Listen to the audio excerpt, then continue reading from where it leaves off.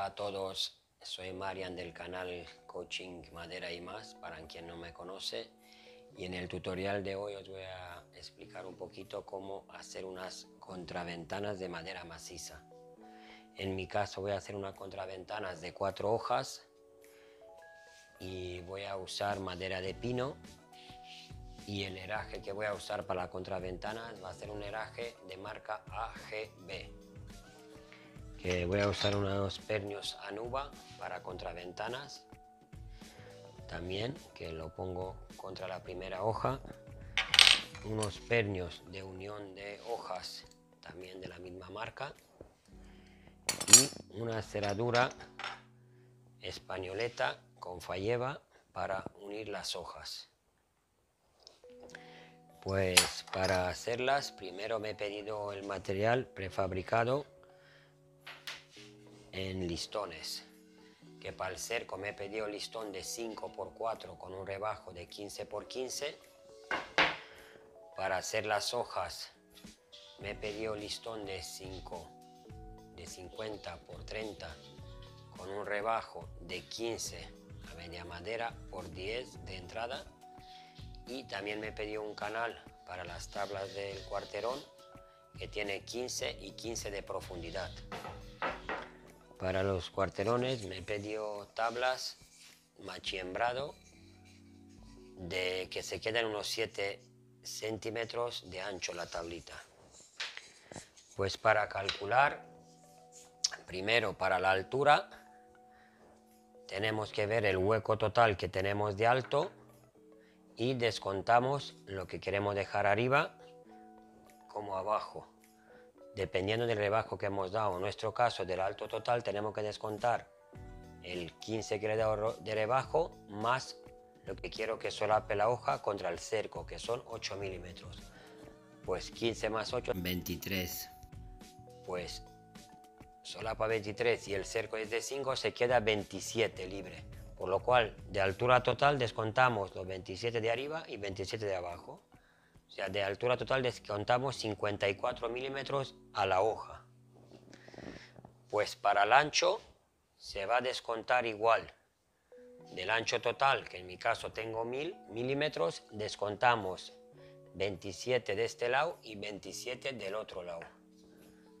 Son 27 porque la hoja entra encima del cerco 23 milímetros, 15 del rebajo más 8 del solape para que me quede 2 milímetros de holgura. Entonces, repito, de 1000 milímetros, el ancho total de las hojas le descontamos 54 milímetros, por lo cual de 1000 descontamos 54 y se queda en 946 milímetros el ancho total de las hojas. Por lo cual, para calcular lo que va a tener cada hoja, de 94,6 tenemos que descontar las holguras que queremos dejar entre cada hoja, que en mi caso voy a dejar 2 milímetros, luego va a ganar un poquito más lijándolas, por lo cual de 94,6 descontamos 6, se va a quedar en 940, el ancho total de las hojas. 940 dividido entre 4 hojas se va a quedar en 23 y medio cada hoja. 235. Pero como las hojas para el contraviento las tengo que solapar, la voy a solapar 8 milímetros entre cada dos hojas. Pues para calcular que nos quede todas las hojas igual, tenemos que sumarle a cada hoja lo que suma el solape de los tres uniones. Por lo cual, si tenemos 946, 940 dividido a 4 da 235 y el solape de los 3, 8 por 3 son 24, los 24 milímetros lo tenemos que dividir entre 4 hojas, que son 24 dividido a 4 se queda en 6 milímetros, por lo cual a cada hoja hay que sumarle 6 milímetros para dar la medida del solape. Entonces a 235 le sumamos 6 milímetros, cada hoja se quedaría en 24,1, 241. Repito un poquito del ancho total del hueco de la contraventana descontamos lo que se nos queda libre, que son 54 milímetros en mi caso, 27 y 27. Lo que nos ha dado dividimos entre 4 y sumamos a cada hoja la media de los tres solapes, que son 6 milímetros. Pues ahora os voy a enseñar un poquito el proceso de mecanizado de, lo, tanto de las hojas como del cerco, que las hojas de contraventanas lo que voy a aprovechar el canal del cuarterón y le voy a, en el cabecero le voy a copiar y le voy a hacer un macho para poder encolarlo. En vez de espigarlo y tal, el mismo canal lo uso para hacer un macho y una hembra. Y los voy a encolar. Pues ahora os pongo el proceso del mecanizado y después lo siguiente, el cómo armo una hoja y cómo armo el cerco. Y luego pasamos a los herajes. Vale, hasta ahora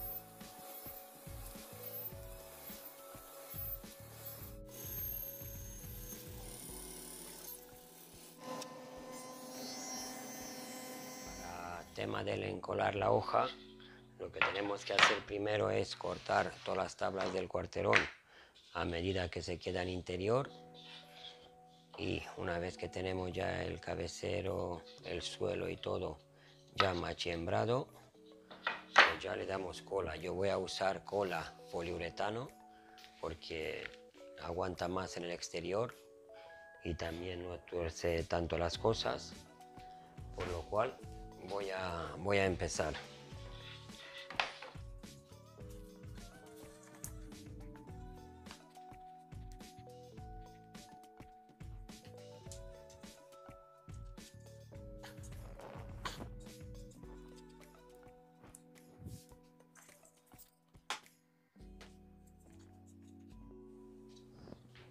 Voy a dar un poquito de cola en el canal entre las tablas del corterón. No le voy a dar por si trabaja con el calor y con el frío es mejor dejarlas sin cola.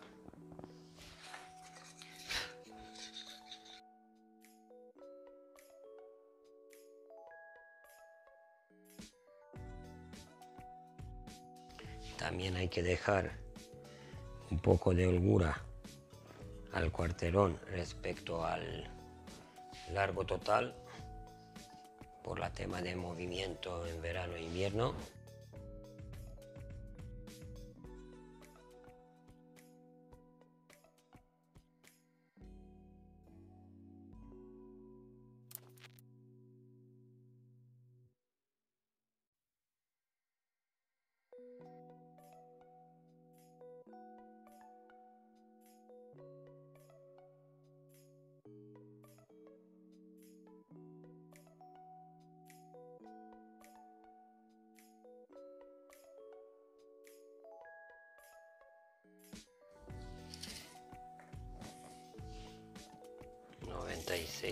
3 y 96,3 pues ya está lista. Lo voy a encolar todo y ya pasamos a armar los cercos. Y luego ya el heraje para unir los cercos igual como tengo el rebajo donde entran las hojas pues le he hecho una media madera y la voy a atornillar porque en el canto no se ve que va contra la pared por lo cual le echo también un poquito de cola poliuretano y le voy a meter dos tornillos de 4,5 80 por cada esquina.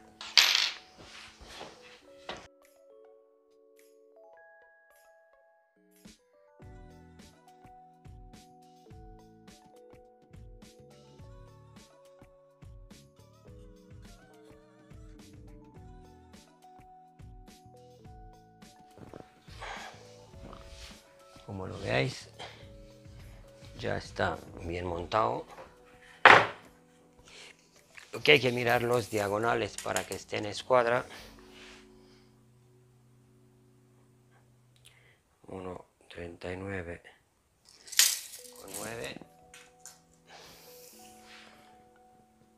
y 1,39 con 8 un milímetro.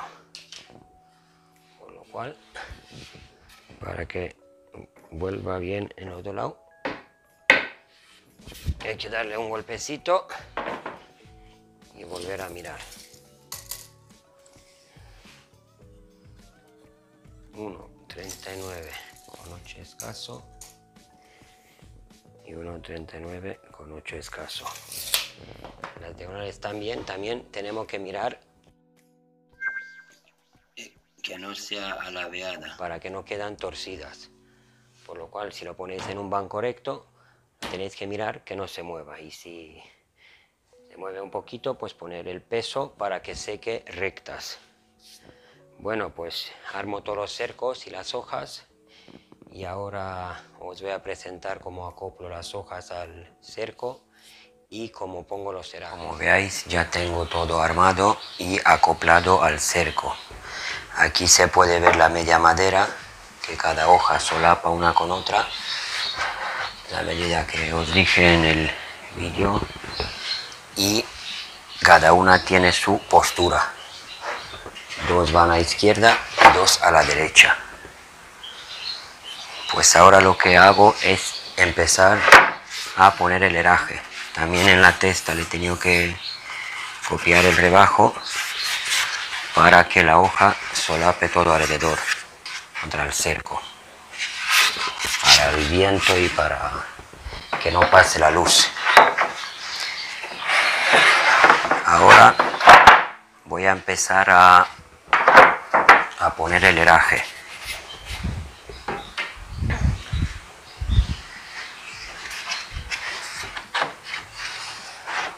Como os dije, que dejo una holgura de 2, 4, 6 y en los laterales otros 2 pues en total unos 10 milímetros de holgura entre las cuatro hojas. Pues voy a empezar a, a poner los herajes. Primero lo que voy a hacer es poner los pernios de unión y luego los pernios exteriores.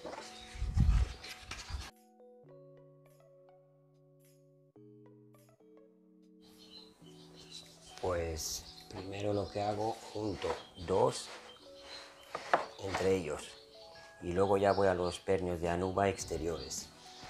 Pues para juntar dos y dos que es la mitad izquierda visto del interior y la mitad derecha visto del interior de la casa para abrir las contraventanas.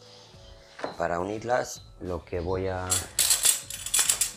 necesitar son los dos pernios de unión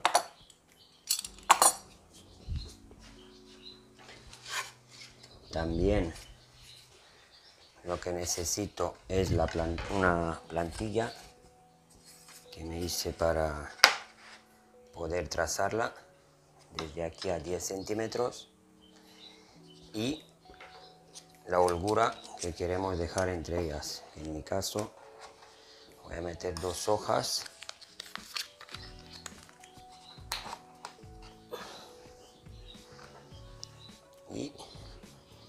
la voy a poner hacia la parte de abajo.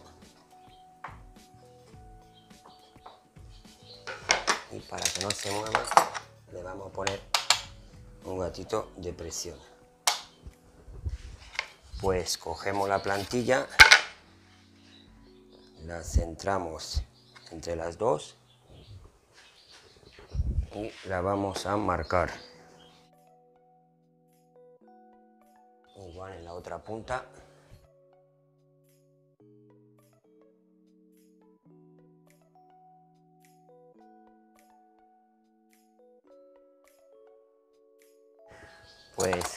este pernio tiene unos pivotes aquí. Tiene unos pivotes que hay que marcarlos en la hoja. Eso es para que las hojas no se muevan entre ellas. Pues yo para marcarlos voy a usar una broca y la voy a y la voy a marcar un poquito. Como ya los tengo marcados,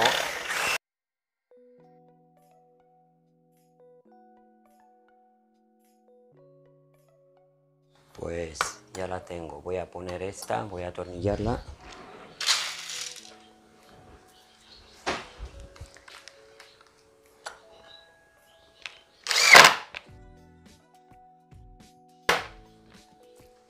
Pues igual voy a hacer con los con el resto y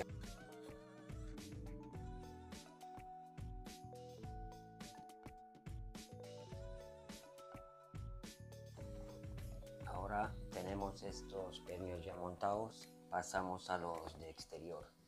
Voy a presentar las hojas en el cerco y vamos a montar los pernios exteriores. Tiene las dos hojas, como veáis, de la mano izquierda y las dos hojas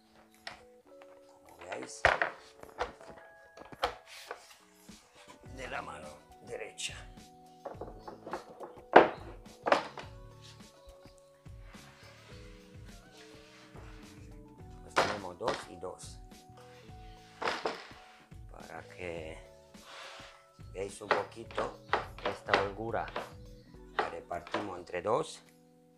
La hoja la pegamos al cerco. Pues para que no se mueva le voy a poner un gatito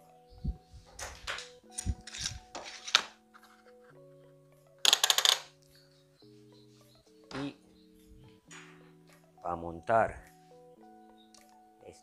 pernio anuba lo que voy a dejar es de aquí de la esquina de la hoja 10 centímetros. Y va a ir el macho en el cerco y la hembra en la hoja. Por lo cual con este tipo de heraje de la marca AGB viene una plantilla que me facilita hacer los agujeritos pues uh, que quede bien por lo cual en la hoja si la metemos recto al tener aquí tan poquito solape se podía rajar por lo cual viene un poquito inclinada para que entre un poquito en interior de la hoja. Pues la voy a poner porque esta plantilla, dependiendo de la mano que le damos, ya tiene trazadas unos trazos a 10 centímetros desde la punta, por lo cual en este caso que necesito el pernio abajo y la hembra arriba, también viene como unas marcas de aquí a 10 centímetros hasta el eje.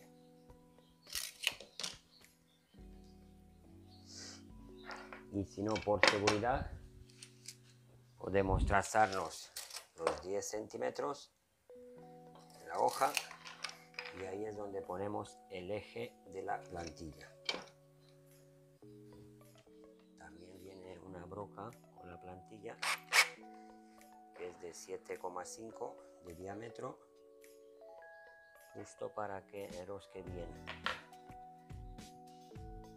pues voy haciendo ya los taladros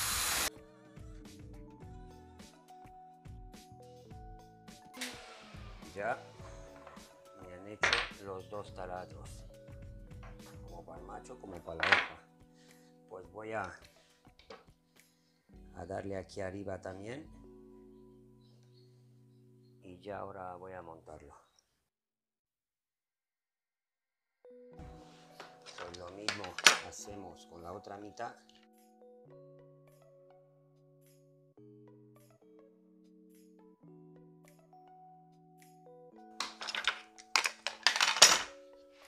lo que voy a hacer es meter aquí los machos. Manera para tornillarlo más rápido es poner la hembra en el destinador y con mucho cuidado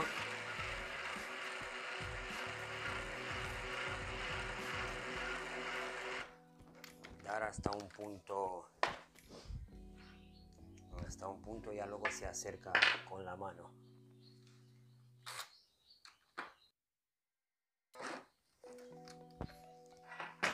Y ahora ya con la mano lo acercamos hasta el punto que queremos.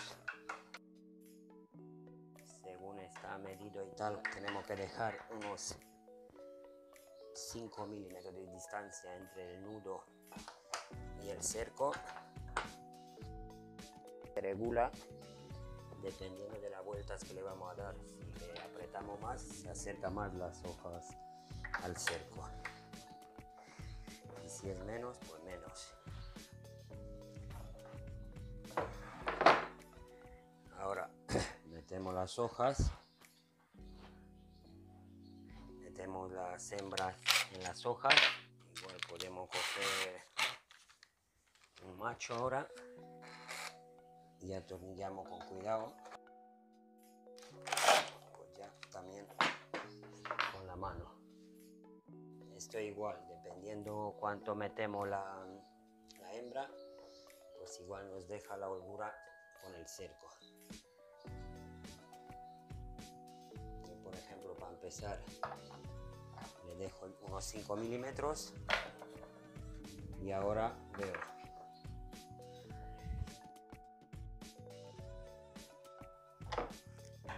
ya. Como veis tengo las dos las dos hembras metidas en la hoja. Y ahora ya lo que podemos hacer que sea más fácil plegarlas y meterlas. Si cuesta un poco la movemos y ya está listo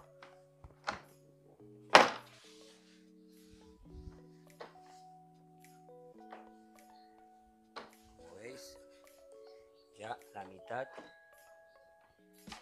Está. Por aquí que se ve mejor. Y estas contraventanas cuando se quedan abiertas pues se pliega. Y se le pone un tope abajo para que no la lleve el aire. Pues ahora voy a hacer la mismo con la otra mitad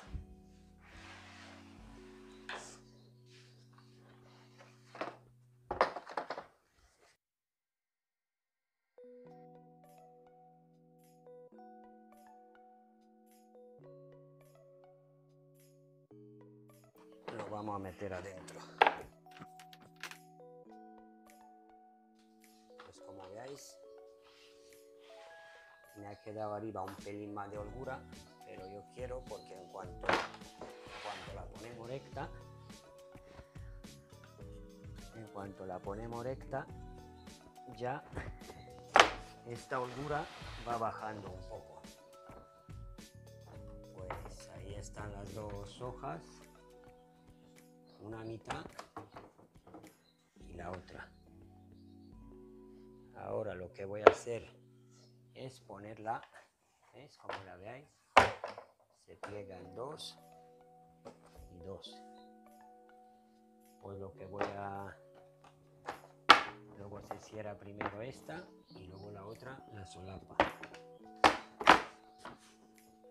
Pues ahora la, la voy a poner la cerradura para que veamos el cierre.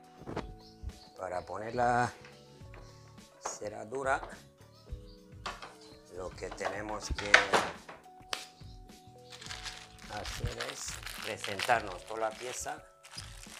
Esto se llama una cerradura tipo españoleta. Como veis, tiene la manivela central que tiene de bloqueo, luego de movimiento. Tiene la manilla central. Este una vez que cerramos se puede bloquear y ya no se mueve. Y luego se desbloquea. Pues esta la ponemos en el centro. Luego tiene el soporte donde cierra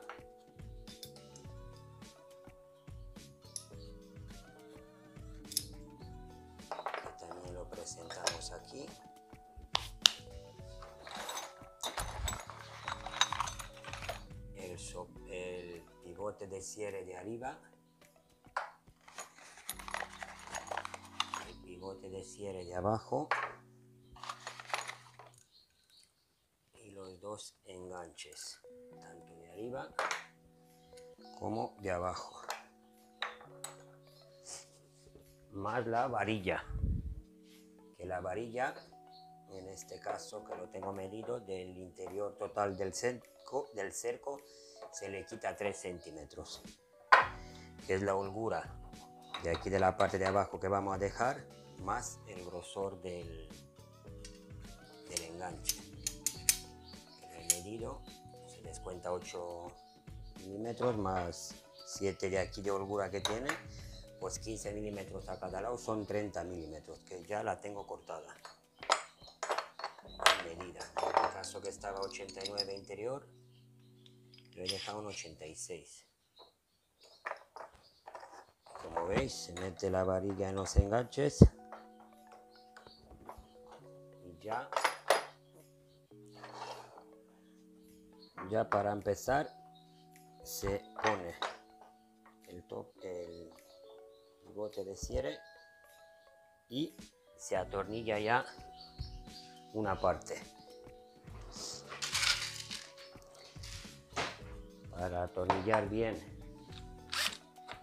siempre uso el centrador de, de agujeros y ya dejando una holgura de más o menos 4 milímetros de la parte bajo del centro. Ya atornillamos el primer enganche de la parte de abajo con la holgura de 5 milímetros. Pues igual hago arriba.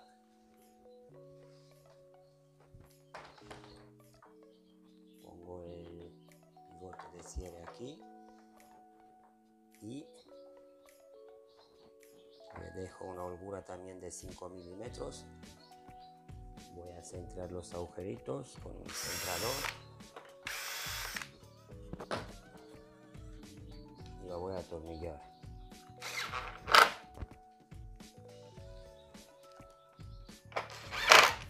Pues ahora se mide lo que tiene entre enganche y enganche que son 76 más 4 que tiene el central son 72 pues a 36 ya y dejaría a la mitad la manivela de cierre. 36 36 también miramos que la varilla está recta y la vamos a fijar. Está igual.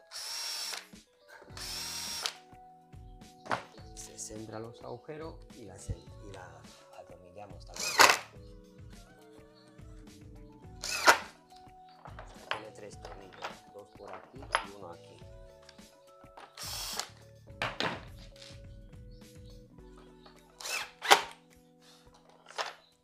Ahora ahora ya nos falta atornillar el soporte de cierre. Este miramos que la manivela está perpendicular con la otra hoja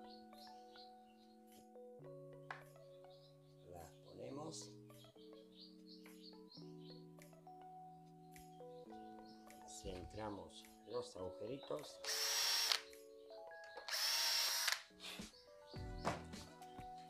Y lo atornillamos.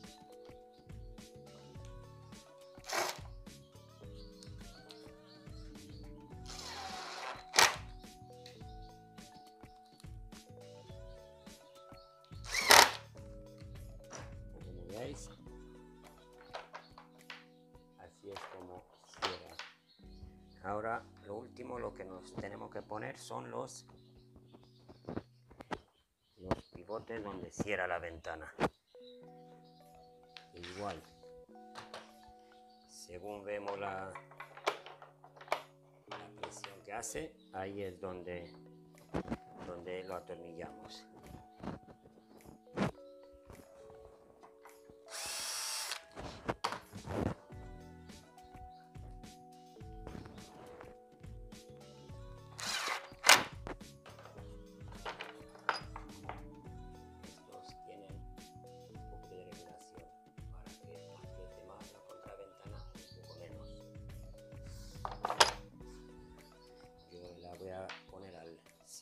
suave y luego ya la regulo.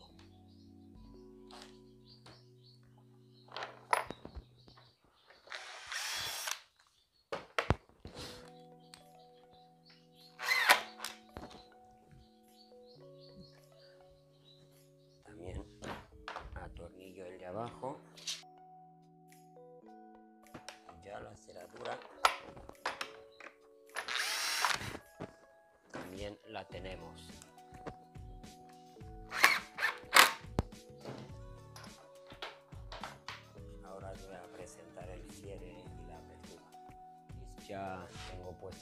Cerradura que ya se abre también el lado izquierdo. Se pliega las dos para acá y también las dos para acá para cerrarlas lo que tenemos coger del enganche cerrar esta y también del otro enganche solaparla y pues así ha quedado mis contraventanas. Voy a quitarle el gato para presentarlos por la otra cara.